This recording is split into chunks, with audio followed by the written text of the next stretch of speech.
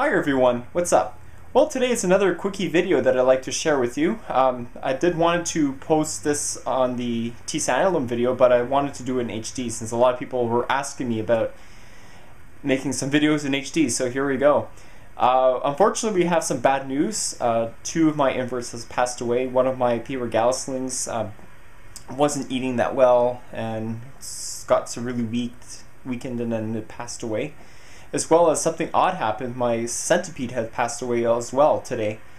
Um, I think it was a lack of humidity, but for some reason, like two days ago, it was completely fine, and now, yeah. That's sad. And anyway, I'm going to probably look for another one. Um, I'm going to call Angelo's store tomorrow to see if there is any more available in stock. Alright, so on the brighter side, You've probably seen these in a tour video that I made. Now, I got the news to share with you. All these four tarantulas have molted and I did not even see that they molted. So, I'd like to take the opportunity to share with you guys. So this is the very first tea that molted and she is large as you would believe and this is the S. calceatum if you saw my Arachnid Tour Part 2 video, this is the one that had the venom dripping from her fangs. As you can see, she is a monster. Five and a half inches, so this is pretty much the full size that S. calceatum will get. And really defensive T. See, look at that. I just mentioned that she was a defensive T and she decides to attack me. Just as ill-tempered as my P. Canceroides. Yeah, this is another one that needs anger management problems.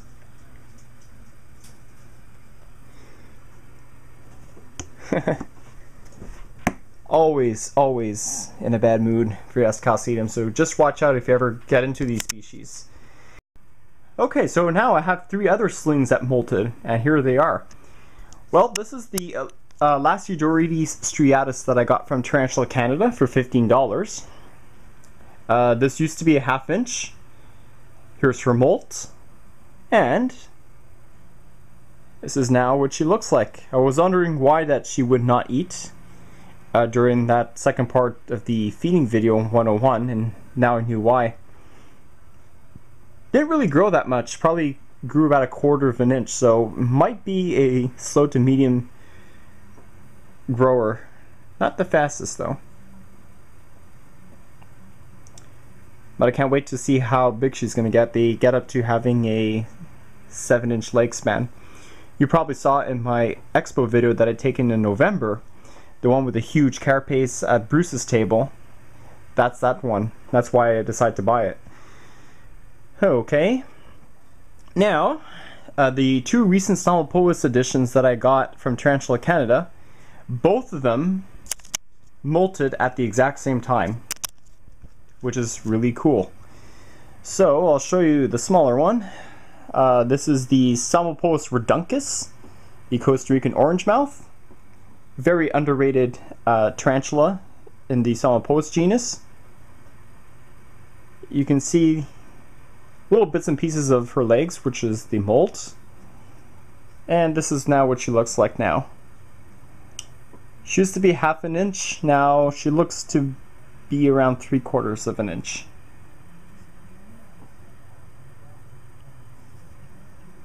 And that's why she wouldn't eat. Very nice. I'll open up the case so you can have a good look at her.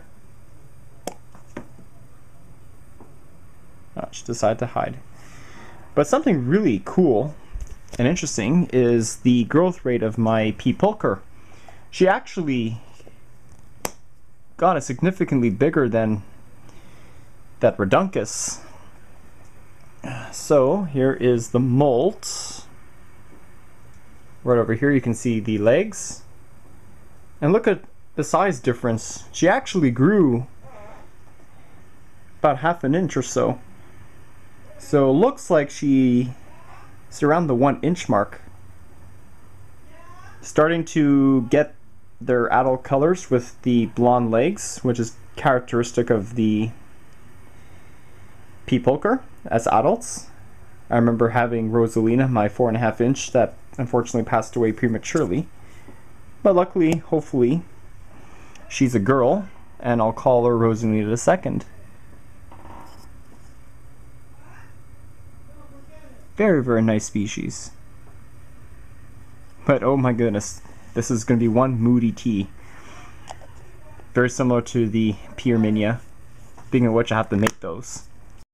Yeah, so here's the video of showing the molts for the four Ts. A big six inch female, very angry uh, S. calceatum, featherleg baboon. Three quarter inch Psalmopoeus reduncus, Costa Rican orange mouth. One inch P. pulcher, as well as three quarter inch Lasiodorides striatus, the glass stripe leg. Hope you enjoyed everyone, and thanks for watching.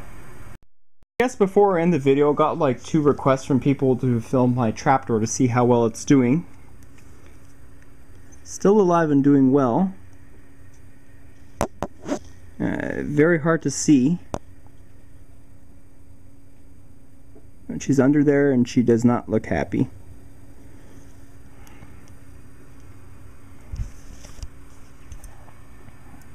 Okay, so let me just close her door.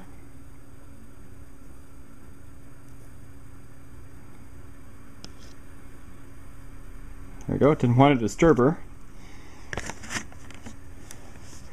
And, oh, okay, so there's a little window. You won't see much of this trapdoor spider. It's a hider, but at least I know she's alive and doing well. Had her for three years. Uh, she's a two inch wild caught female. Doing well in a tall deli container with peat moss as substrate.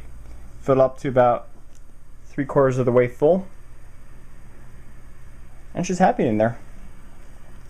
So that's the video of my four molts from my teas, as well as an update video of my black trapdoor spider. Next up, Mythbuster video on the O. diamantinensis.